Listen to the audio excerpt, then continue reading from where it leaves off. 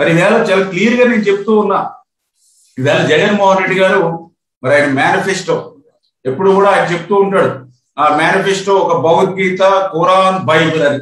నేను అడుగుతూ ఉన్నా ఏదైతే మీరు చెప్పినటువంటి మేనిఫెస్టోలో చాలా క్లియర్గా మరి కాపు సంక్షేమం కోసం నోట్ చేసినప్పుడు మీరు క్లియర్గా చెప్పారు.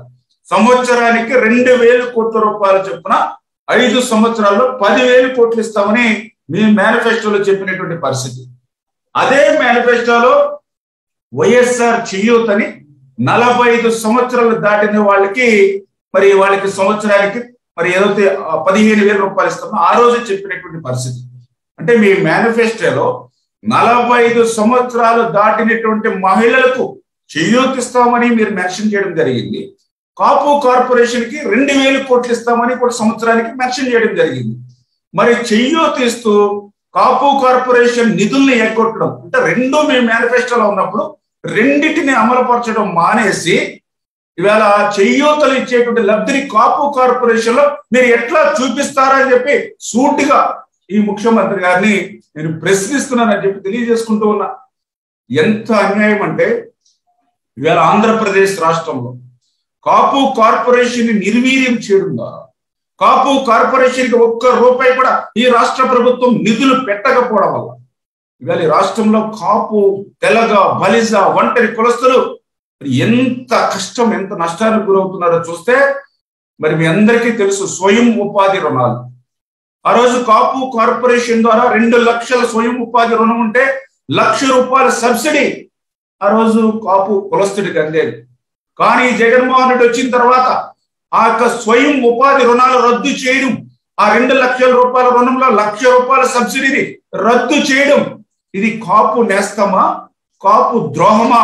ఈరోజు ముఖ్యమంత్రి సమాధానం చెప్పవలసినటువంటి అవసరం ఉంది.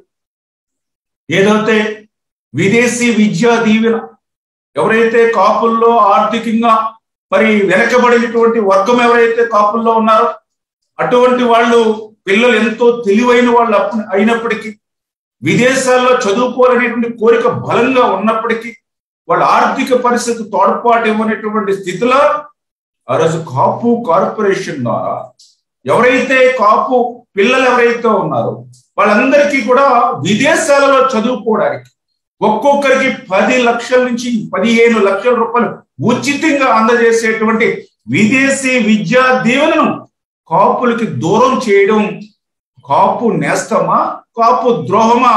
ఈరోజు ఈ ముఖ్యమంత్రి గారు సమాధానం చెప్పవలసినటువంటి అవసరం ఉంది.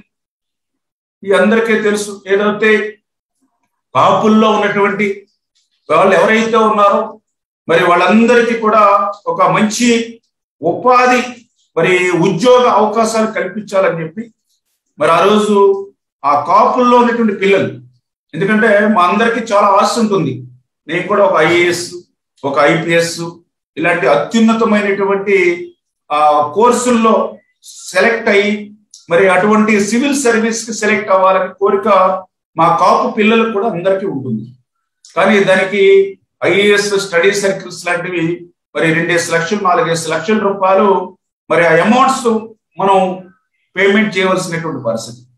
మరి అటువంటి స్థితిలో కాపు కార్పొరేషన్ ద్వారా ఆ రోజు చంద్రబాబు నాయుడు గారు ఏదైతే కాపు తెలగ బలిజ ఒంటరి కులస్తుల పిల్లలు ఎవరైతే ఉన్నారో మరి వాళ్ళందరూ కూడా ఉద్యోగ పోటీ పరీక్షల కోసం నెలకి పద్దెనిమిది వేల రూపాయలు స్టైఫండ్ ఇచ్చి దగ్గర దగ్గర రెండు లక్షల నలభై రెండు వేలు ఒక్కొక్క విద్యార్థికి ఖర్చు పెట్టేటువంటి విధంగా కాపు విద్యోన్నతి ఏదైతే ఉందో అంటే లైక్ ఏపీఎస్సి యూపీఎస్సి అదేవిధంగా banking SSC insurance sector GMAT profile chartered account ఇటువంటి అన్ని కోర్సులకి కూడా మరి నెలకి పద్దెనిమిది వేల రూపాయలు చొప్పున రెండు లక్షల నలభై రెండు వేలు ఒక్కొక్క విద్యార్థికి ఆ రోజు ఇచ్చినటువంటి కాపు విద్యోన్నతి పథకాన్ని ఎత్తేసినటువంటి జగన్మోహన్ రెడ్డి కాపు నేస్తమా కాపు ద్రోహమా?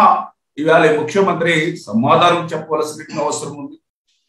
మరి ఎవరైతే కాపు తెలగ బలిజ ఒంటరి పిల్లలు మరి అటు పెద్దగా చదువుకోలేనటువంటి పరిస్థితులు పెద్దగా ఉద్యోగ అవకాశాలు లేనిటువంటి పరిస్థితుల్లో మరి వాళ్ళకు కూడా ఉపాధి కల్పించాలనే ఉద్దేశంతో ఆ రోజు చంద్రబాబు నాయుడు గారు కాపు కార్పొరేషన్ ద్వారా ఒక్కొక్క కాపు మరి ఉపాధి కోసం ఐదు వేల రూపాయలు ప్రతి నెల చెల్లిస్తూ మరి ఆ స్కిల్ డెవలప్మెంట్ సెంటర్స్ ఏదైతే ఆ రోజు కాపు కార్పొరేషన్ ద్వారా పెట్టారో ఆ స్కిల్ డెవలప్మెంట్ సెంటర్స్ని ఎత్తేయడం కాపు నేస్తమా కాపు ద్రోహమా?